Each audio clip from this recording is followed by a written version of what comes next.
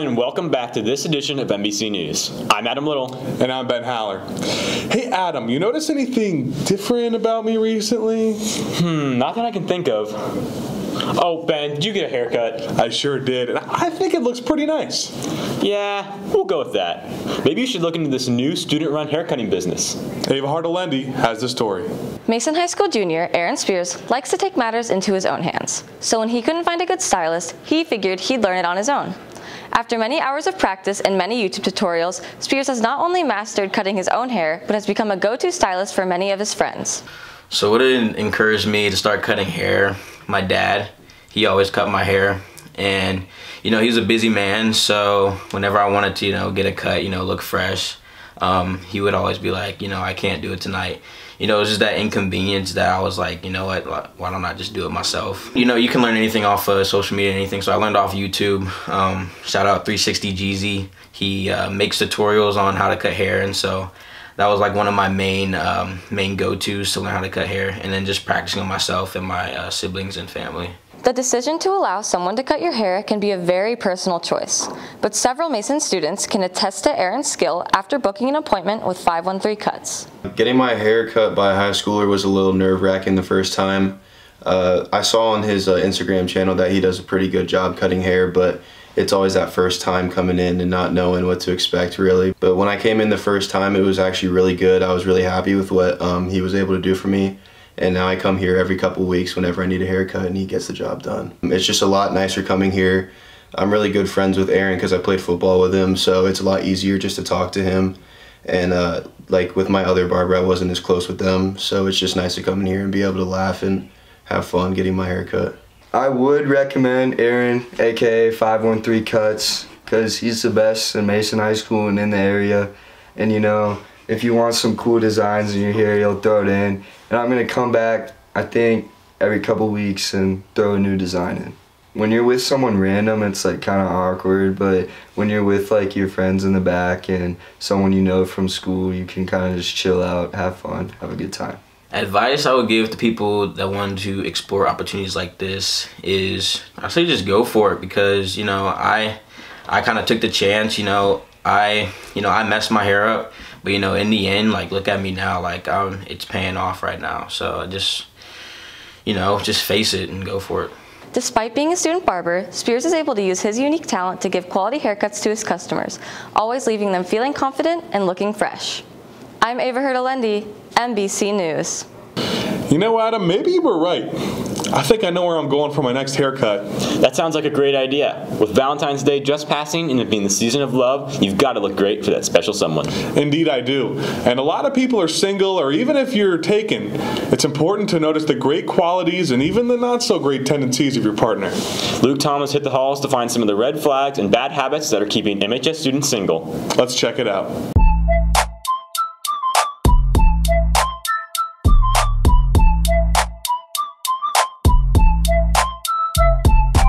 Everyone knows the phrase, no one's perfect. And with recent social media trends, this has been brought back into the light.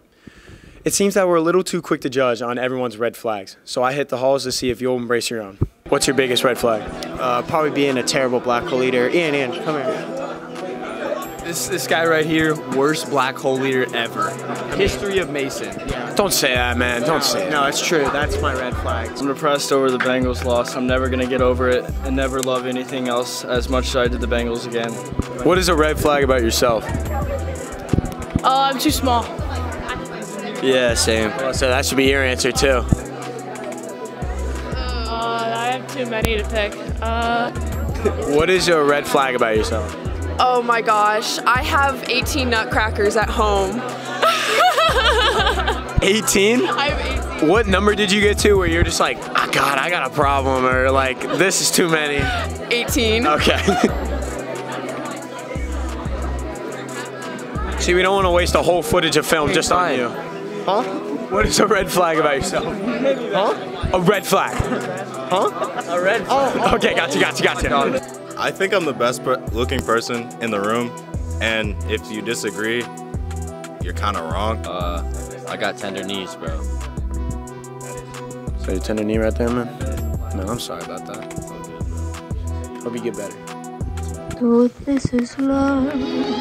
What's your red flag? I would say my red flag is that I'm too good at grading. No, definitely not. Give me the mic. Give me the mic. Give me the mic. I'm not allowed. Give me the mic. Give me I'll the get mic. fired. Hi. Hi. I'm a little nervous. Okay. It's okay. Okay, um, are you gonna ask the What's your biggest red flag? Um, I would say being a cat person. How many cats do you have? Uh, I have three, but at one point I had six. But they died. so, I'm so sorry. yeah, it's uh, okay. I went back to my ex eight times. Eight times? Are you guys back together right now? No. Ah, looking for a nine? No, no, never. Mine is that I got TikTok famous once. How many views? 2.7 million. Dang, what? What's the secret? oh, couldn't be me. I know the entire Fall of Jake Paul lyrics. Give us a little taste. yeah, yeah. My red flag is I'm a backseat driver. Everybody at the school does not know how to drive, and I will voice my opinion. Wanna show me how to- Alright, bet. What's your biggest red flag? Car accidents. Ah, That's not good. No. How many? Uh, my parents know about one, but I've had three. you didn't tell them? No, and I hit a mailbox. I've never had a bad hair day. Fair. biggest red flag. Um, probably that I flirt with too many of my friends. That's not that good, but. You're six six. What's your biggest red flag? Get off your tippy toes. I bring an iPad to school every day. Are you like iPad kid? Yeah, You're the iPad kid? I am. I play games on it. Oh, Okay. At least you're not doing schoolwork. that would be bad. it's a good thing people don't come with printed warning labels, because after hearing some of your guys' red flags, I would definitely think twice. I'm Luke Thomas, MBC News. Ding. Are you tired of wearing the same old boring clothing every day? If that's the case, come on down to the Comet Zone. Open every day during lunch except for Thursdays. The Comet Zone is filled with many options to have you looking fly every single day. From sweatshirts to t shirts to jackets, the Comet Zone has clothes for every occasion. Come on down to the Comet Zone for your Mason spirit needs. The Comet Zone, your one stop spirit shop.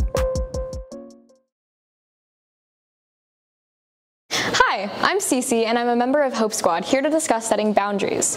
When having mental health conversations with your peers, it's crucial to set boundaries for your own safety as well as others.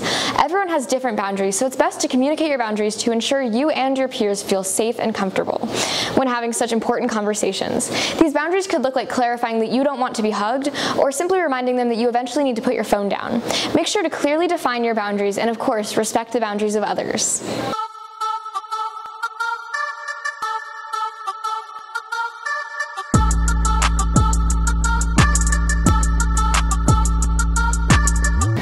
Comet Country? I'm Abby Samuel.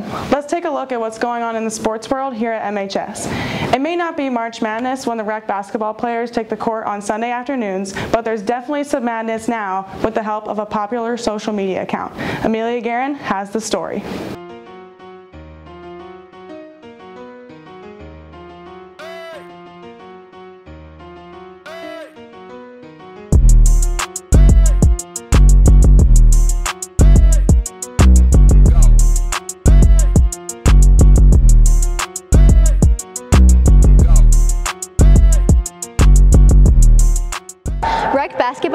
Always been a thing here at Mason High School, but this year the stakes are higher than ever, fueled by a spirited social media presence that has the players not only wanting to leave their mark on the court, but also add in some style points so they can win the social media game as well. I got into rec basketball, I think, fifth grade.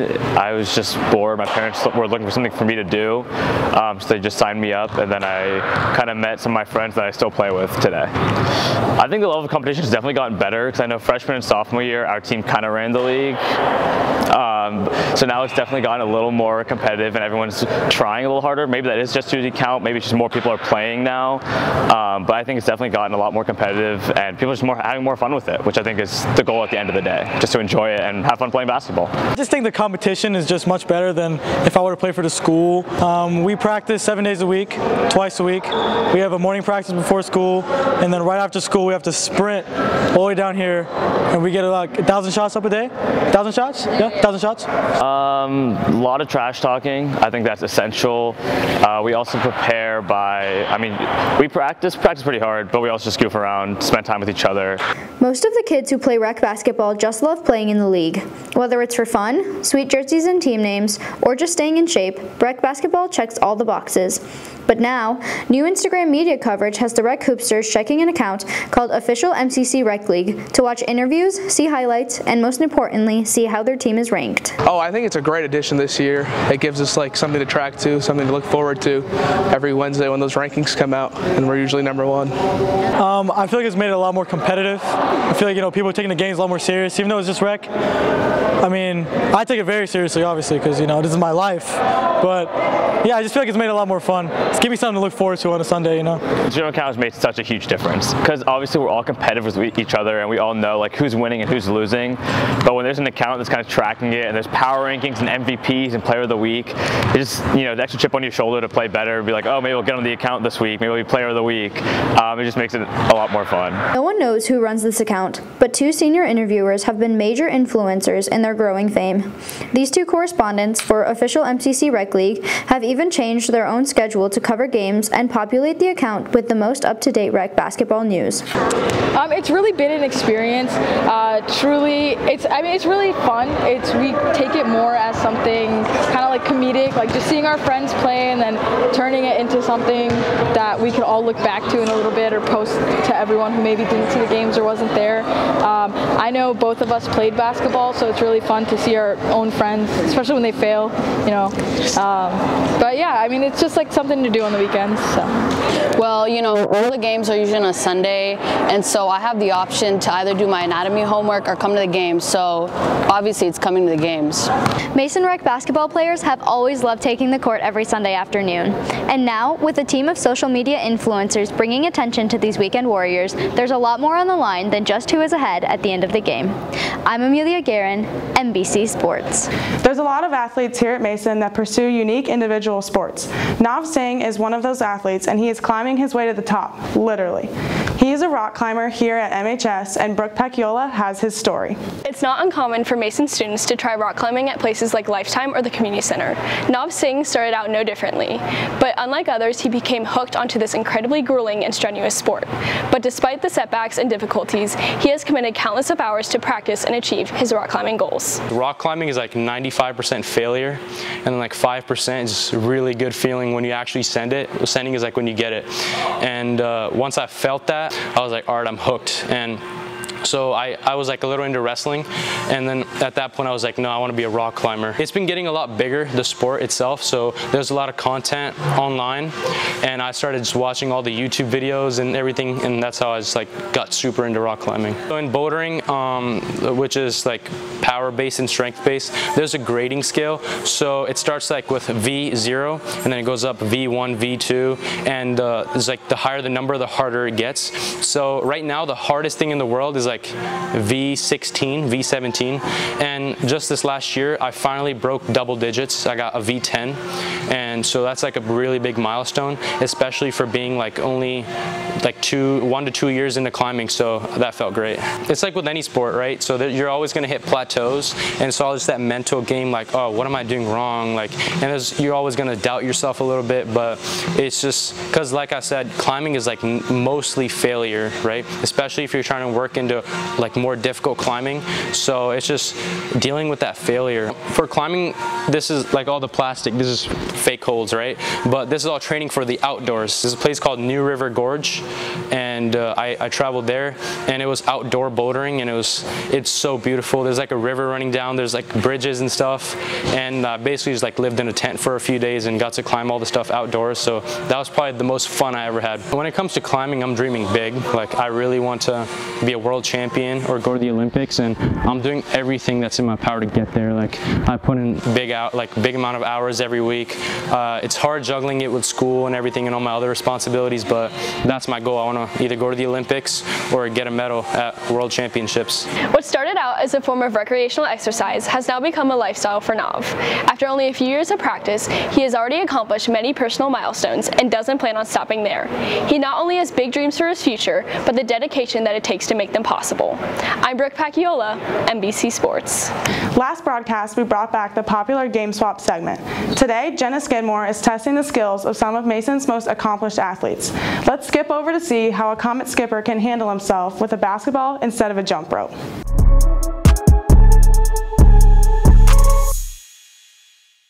Hey everyone and welcome back to Game Swap. You all know the drill. I'm here today with varsity basketball player Gabby Rosano and Comet Skippers member Erica Selica who are going to switch spots and put their knowledge of a different sport to the test. So, are you guys ready? Oh yeah. I'm so ready. Yeah? Let's get to it.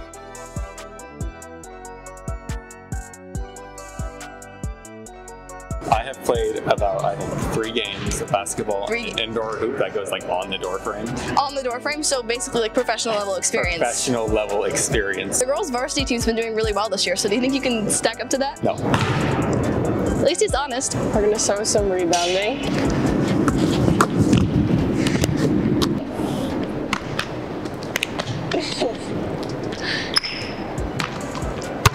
I don't think I can dribble. You can go in slow motion. Slow motion. The ball does not move in slow motion. Oh, snap.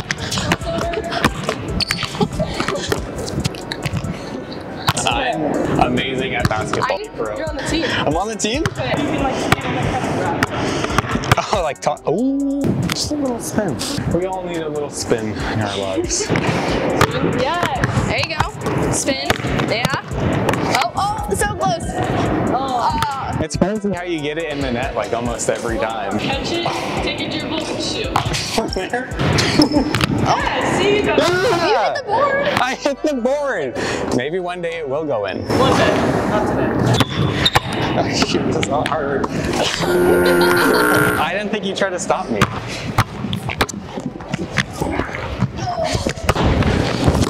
Oh, oh. No! Ah! Oh, shoot. You did the spin! I wasn't expecting a spin, Jenna.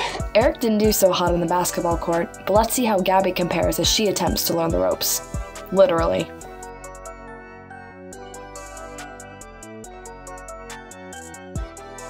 So I know this is kind of your home court, but now it's a new sport. So how do you how do you think you're gonna do? I think I'll be okay with like the simple stuff, but I don't know about the, the extra tricks and stuff. For that? Like that? Yeah. Lower and elbow. Yeah, elbow to elbow. What are you doing? You're not doing elbow to elbow. Cross better. There you go. Okay. See how to represent it. Oh! There you go. Beautiful. There you go. You have to jump that rope as fast as possible. Is this even like a rope? I can't even So see the rope when you're doing that. Not there, I'm just making. Disney Channel. There. That's Try, good yeah, rope. try it. Oh no. Really easy. Oh no. It's not gonna work out. Right? Oh, almost. yeah! Whoa! Oh! How many can you do in a row? Like that's see like my nightmares. Like a side swing, like before. Okay.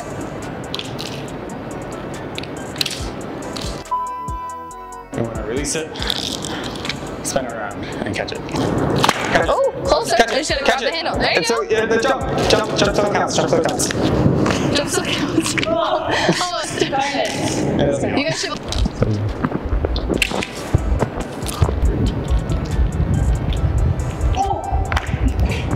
Finish strong. Finish strong. There you go. Finish strong. Yay! Yeah! There we go. All right, that was That's one third of it. painful to watch. Our athletes seem to have a great time today, right? Oh yeah. Oh yeah. Thank you both again so much for coming out and being really great sports. Well, that wraps up this edition of GameSwap. Be sure to visit us on Instagram at we.r.mbc to vote on which sports you want to see swapped next. I'm Jenna Skidmore, MBC Sports. It's great to have the Game Swap segment back. I'm looking forward to seeing what Jenna has in store for our next broadcast. Now let's send it back to Adam and Ben at the news desk. Well, that wraps up this edition of MBC News.